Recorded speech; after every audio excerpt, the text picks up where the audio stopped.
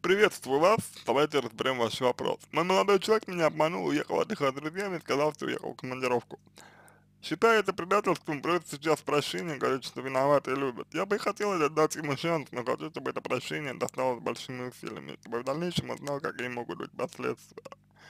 Как правильно себя в этом случае вести? Нам по 26 лет, мы встречаемся полгода. Смотрите, а, я думаю, что здесь с точки зрения психологии а, есть два момента, на которые, мне кажется, вам нужно обратить свое внимание. Первое, если мы говорим про э, предательство, то речь идет о, про ваши э, надежды, про ваши ожидания, про то, что вы видите, про то, что вы ждете от человека. А, дело в том, что ожидания должны быть реалистичны. Если молодой человек вас, вас обманул, значит он, скорее всего, знал, что таким, как он есть, его желания вы, вероятно, не, прими, не примете. Соответственно, здесь речь идет о том, что вы молодого человека не принимаете. Если вы молодого человека не принимаете целиком, то вопрос встает о любви. Любите ли вы его? Потому что любовь, любовь это безусловное принятие. А, да, вы можете чего-то не принимать, это безусловно верно, но как бы это ответственно. Вот. И нужно понимать, что а, от того, э, например, что человек раскаивается, и если он будет действовать из чувства вины дальше, а, то в будущем такая ситуация повторится. А, потому что свои желания никуда не денешь. Вот. А свои потребности, ну, как бы, э, никуда, никуда не денешь.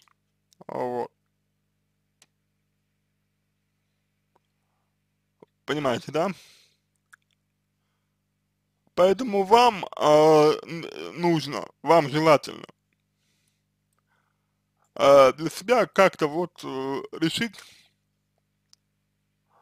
как вы относитесь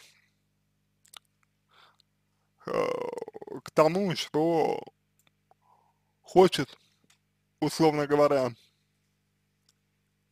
э, ваш молодой человек. Да? Э, как вы относитесь к тому, что для него важно, например, к тому, что для него ценно, например, вот, и определиться со своим отношением, готовы вы принимать это или нет. Э, потому, потому что а если нет, если вы не готовы принимать, вот, вам нужно взять за это ответственность. Вот. Что значит ответственность? Ответственность это значит вам определиться с, послед... с последствиями того, что вы не принимаете. Это первое. Да, то есть есть работа с ожиданиями у того, что произошло, есть причины, и эти причины как бы исходят и от вас, в том числе. А, дальше. По поводу а, того, что вы хотите, чтобы это, это а, прощение далось ему а, с большими усилиями. А, я думаю, что здесь важно, чтобы вы были собой. То есть, чтобы вы не э, пытались как-то вот через силу, да, че, э, человека, ну, принижать. А именно, именно, чтобы вы говорили о своей боли. И мне кажется, что тот факт, э, что вы хотите дать ему второй шанс, а, означает, а, что вы игнорируете а, свои чувства. То есть то, что вы, э, то, что вы хотите дать ему второй шанс, говорит о том, что в принципе вы уже простили его. Либо э, речь идет о втором шансе как о вашей потребности в чем-то. И это разные вещи. Это разные вещи, это не одно и то же. Тут тоже нужно определиться. И мне кажется, что э, лучше всего человек понимает э, как бы значение того, что он сделал тогда, когда мы реагируем естественно, а не через силу, чтобы, пыта чтобы пытаться оказаться, а не быть. Вот. Такая вот история. То есть,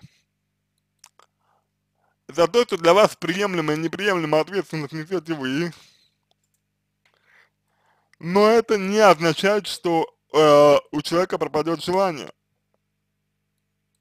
И это не означает, что приемлемость и неприемлемость чего-то для вас совпадает с приемлемостью и неприемлемостью чего-то для него. Поэтому я бы здесь для начала попробовал бы выяснить, окей, а что сподвигло его вас обманывать? Почему он не, счита, не посчитал для себя возможным сказать вам правду? Быть может, вы были бы против, если бы узнали, что он поехал отдыхать с друзьями. А это уже посягание на личное пространство другого человека.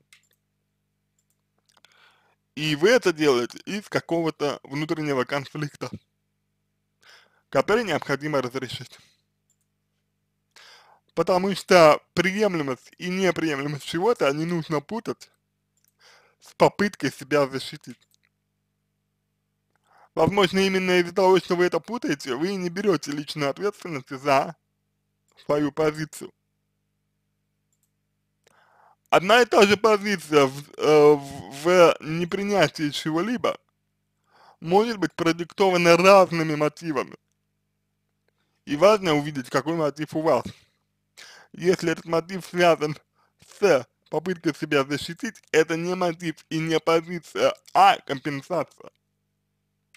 И как следствие отсутствие выбора. У вас нет выбора, кроме как его контролировать и кроме как вести себя так, чтобы он так больше не поступал. Когда же э, позиция определяется выбором, то, замечая и чувствуя свой выбор, мы можем заметить и чувствовать выбор другого. И как-то к нему отнестись. Я бы здесь еще э, уделил бы внимание корректировке вашей коммуникации, как вы коммуницируете, и уделил бы внимание тому, что между вами общего. На этом все. Буду благодарен за обратную связь по моему ответу.